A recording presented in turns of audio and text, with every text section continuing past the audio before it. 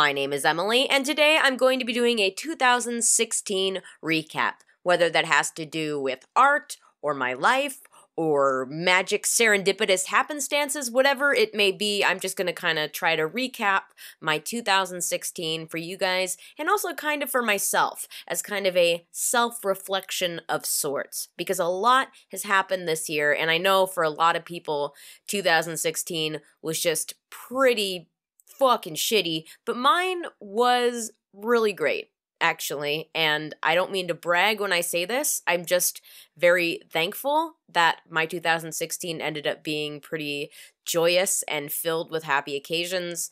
More happy occasions than bad ones, because there were quite a few bumps in the road this year. But I feel like the good outweighs the bad by a substantial amount. So let's go ahead and jump right in. In case you guys haven't noticed, I am playing some of my personal favorite videos and pieces and moments from this year that have all been on my channel. Just something to kind of have in the background. I did have a painting, but I thought it would be a little bit more appropriate to play the videos opposed to just a random painting. So unfortunately, what kicked off 2016 for me was a very toxic, codependent, friend shit, pseudo relation shit. Horrible relations is what I'm getting to.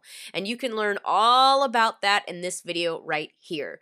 But to sum it up very, very briefly, I was close to a almost 40 year old drug addict who came from a very affluent background. He went to a nice college, and he's kind of the prime example of a very unexpected drug addict. Someone who, you know, they always say anybody be- can become a drug addict. And I'm not sitting here bashing drug addicts because it is a disease and I myself was a drug addict in the past. I'm not going to get into that right now. I have so many feelings about that, but the point is that he is a drug addict that I don't think will ever truly heal because he doesn't really have to. He has a lot of people in his life that act as constant enablers to this behavior he'd go through these cycles of using drugs and then finding people who would help him financially, mentally, emotionally. Then he, like a lotus flower reaching through the mud towards the sun, would get clean and sober and then ditch those people, relationships, friends, what have you, that helped him along the way,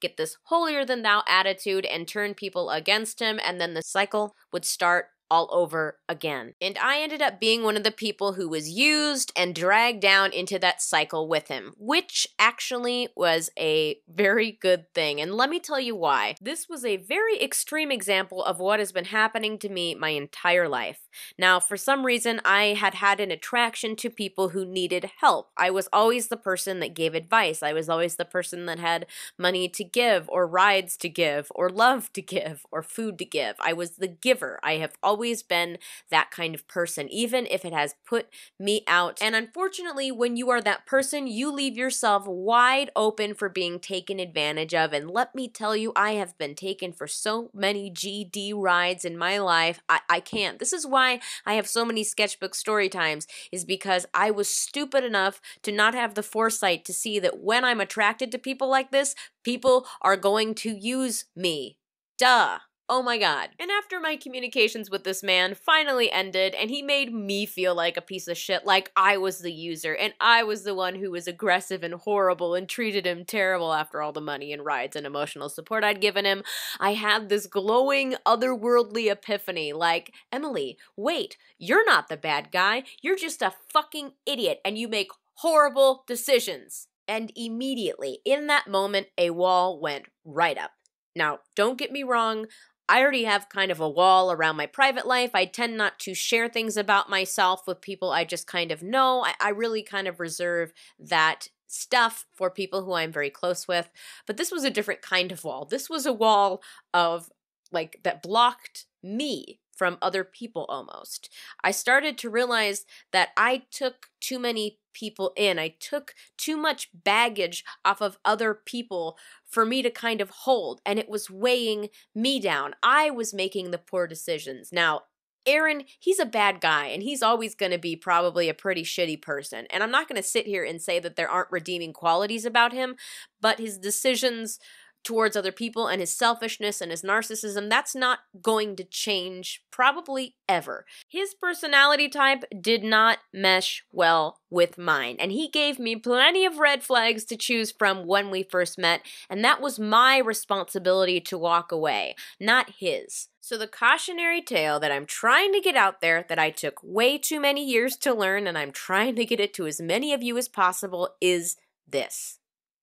If there is someone in your life that makes constant and repeated threats to your well being, whether it be perceived or real, if you are feeling anything less than comfortable with this person, you need to walk away. Obviously, there are plenty of special situations where this doesn't apply, but to those who are able to, I urge you to walk away. You are 100% in control with who you are surrounded by. And I understand that there are certain times when you are not, but at the end of the day, you choose who you are friends with. You choose who you are in a relationship with. You choose who you surround yourself with. So, walk away from those who make you feel anything less than comfortable more than 20% of the time because, you know, friends fight, that kind of thing. There are always exceptions to this rule.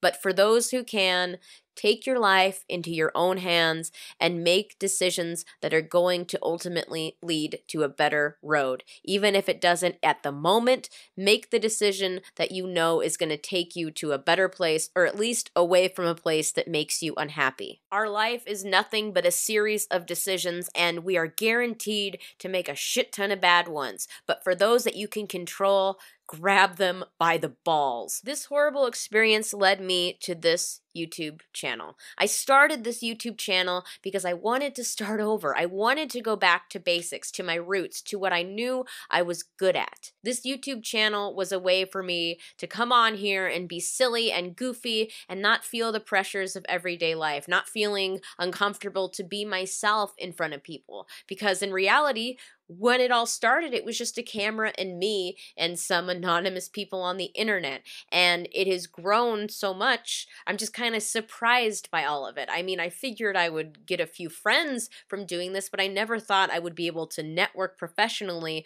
the way I am able to now. I, I never thought I would have this amazing friend group, this this artful family. I, I never expected this was going to become something greater. I always thought it would just be a way for me to let off some steam, and it definitely still is, but there's a little bit more of a schedule to it now. And I have no problem with that. If you know me, you know I love schedules and organization. So I I just I never thought that I would be able to do something that I love with such tremendous payback. And the payback is you guys. You are all such wonderful, unique, loving people. I get emails from you guys all the time, and every single email melts my heart.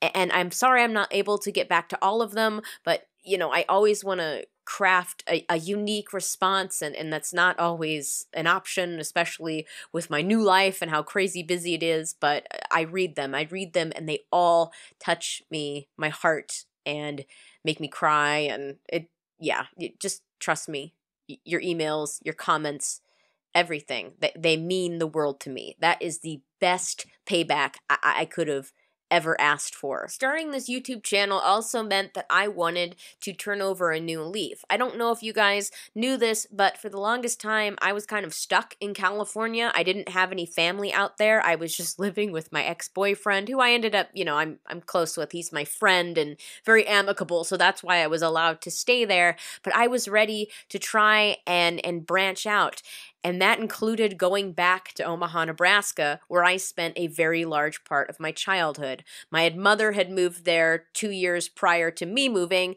so I was ready to take that next big step.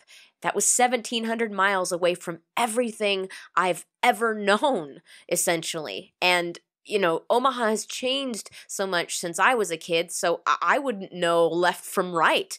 It was a big decision, but I was gunning up to do it already. So at the end of January, I flew out here to enjoy a, a week and a half with my mom and my stepdad. And I ended up reconnecting with a very unusual person. And that would actually be someone who had kind of babysat me while I grew up, and that person is actually my husband, Mike Artful. Um, we didn't really re reconnect in January. He just kind of showed up at a bar and we talked a little bit and added each other on Facebook and we kind of left it there. But when I did come back in April to scout out some apartments and things, we ended up really reconnecting. And with the help of a little bit of liquid courage, I gave him my number um, he walked me out to the car with my mom and he picked me up and squoze me so tight. I knew immediately that this guy, this guy is into me. He squoze me and spun me around and it was really cute. And then we went on our first date and then another date. And then we fell totally in love pretty quickly.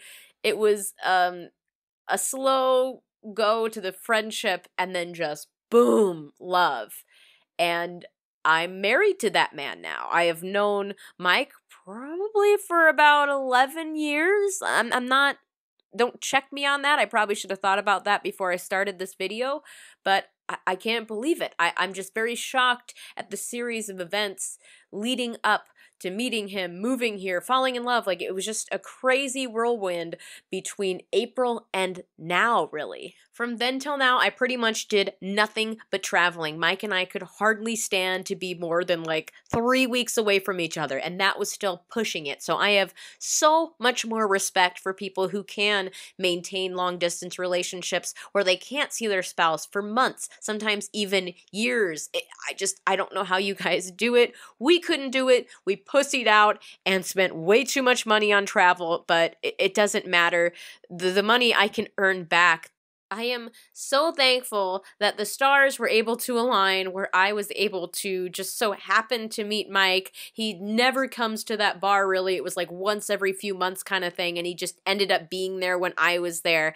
And think of it, I wouldn't even have been in Nebraska if it weren't for that horrible situation with Aaron and that epiphany. Like I am just kind of in awe sometimes how a series of events can lead to one thing to another. And I love stories about how couples meet through crazy scenarios. And, and I just think, I just think this year, I know it was crappy for a lot of people, but it was really, really an eye opener for me. And yes, I did have some pretty meh experiences, but those meh experiences made me grow as a person. So they can't be all that bad, right? I could go on about these little bumps and things that happened throughout this year, but I really wanted to just talk about the two major things, and that was my experience with Aaron and what that did to me, to my experience with my now husband, and how something so beautiful can come from something so not great.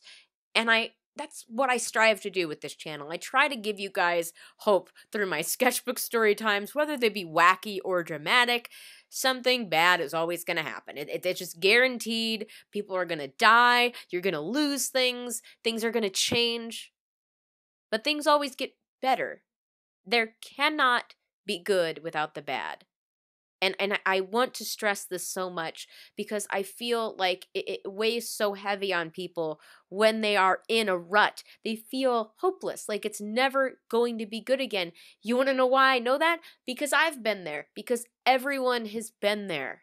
It always gets better. There is always a light at the end of the tunnel. Just look at my light. My light didn't come for seven years. I had seven years of terrible times and there were a few times in those seven years that I wanted to give up. I wanted to just say, I'm done. I want to go to sleep and I don't want to wake up.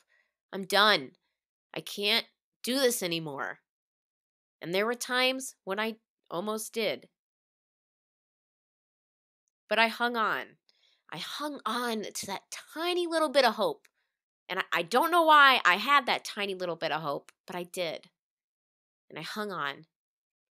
And I know there are going to be bad times ahead of me, but I have this collection of people that I have decided to keep in my life the good people, the people I care about and I know care about me. I have those people now because I've made a series of good decisions along with the bad. I'm stronger now, and I never thought I would be here, but I'm here. Don't ever lose hope. Hope is what's going to drive you. Whether it be hope in a goal in art or a hope in a goal of a family, hope, want, aspiration, desire, those things are going to take you to do great things. I'm starting to cry, so I'm trying not to, but that was my 2016. Thank you guys for everything. Thank you for subscribing. Thank you for being the amazing people that you are. And don't ever lose hope. Thank you guys so much for watching. And don't forget to stay out of trouble. See you guys next year.